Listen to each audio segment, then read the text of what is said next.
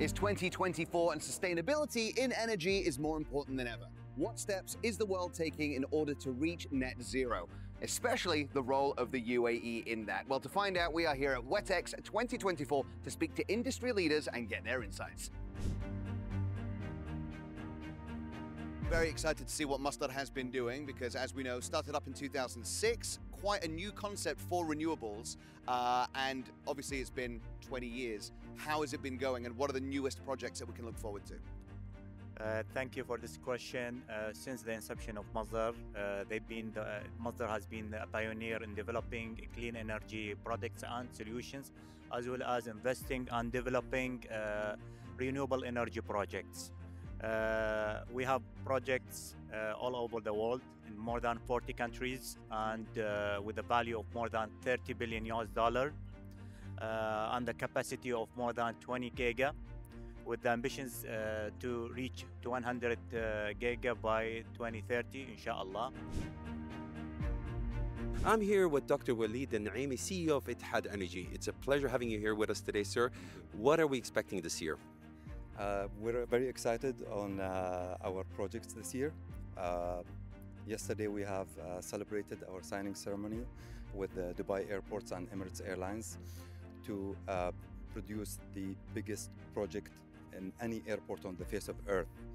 Uh, we're producing almost, we're installing almost uh, 100 megawatts of, of, of solar panel generation that will participate in uh, reducing the uh, energy uh, utilization for Dubai Airports and Emirates Airlines together, and of course will uh, uh, will help uh, reducing the carbon uh, footprint for a better environment for our coming generations.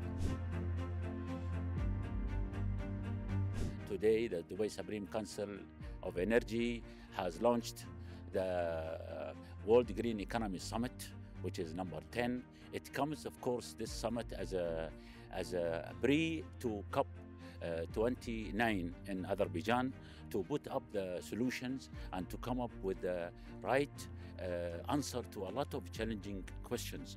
Well, I think the most important thing we want to focus here on this summit is the transition toward green economy, and that's that thing will happen uh, uh, honestly uh, on two bases. The base number one is the cooperation between the governments all over the world, and number two, between the private sector and the public sector to move forward with the project which will reduce the carbon emission and uh, move and transit, transit the business toward the green economy.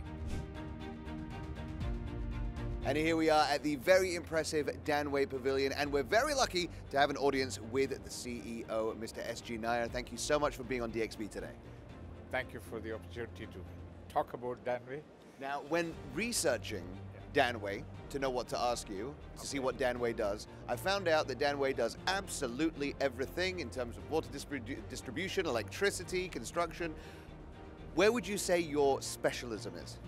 Well, uh, Danway does everything as far as electricity is concerned, starting from power generation, power transmission, power distribution, and also also we have a manufacturing department. Basically, we serve the utilities like DEWA, and also we serve the other infrastructure projects in, in the country. We absolutely love it. And speaking of those projects, obviously lots of companies from all over the world and right here in the UAE all gathering in one place. Why do you think these conferences like WETEX 2024 are important for the development of not just sustainability, but the industry as a whole?